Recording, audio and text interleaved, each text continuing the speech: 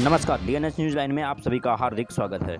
दादरा नगर हवेली के दादरा विस्तार में स्थित Vishnu Lakshmi textile private limited company के अंदर एक व्यक्ति ने फांसी लगाकर जान दे दी। बताया जा रहा है कि 45 वर्षीय लक्ष्मी चंद बंशीधर शर्मा नामक व्यक्ति राजस्थान के रहने वाले थे और दादरा नगर हवेली के दादरा स्थित Vishnu Lakshmi textile private limited company में सालों से काम कर रहे थे और कंपनी के अंदर में ही बने रूम में रहते थे।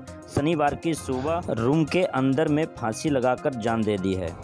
सबसे बड़ी बात यह है कि लक्ष्मी चंद के भाई उसी कंपनी में मैनेजर के पोस्ट पर काम करते हैं और अभी तक पता नहीं चल पाया है कि आखिर लक्ष्मी चंद ने फांसी लगाकर आखिर क्यों जान दे दी। इस घटने की जानकारी मिलते ही मौके पर पुलिस टीम पहुँच गई और आगे की जाँच पड़ताल पुलिस ने शुरू कर दी है।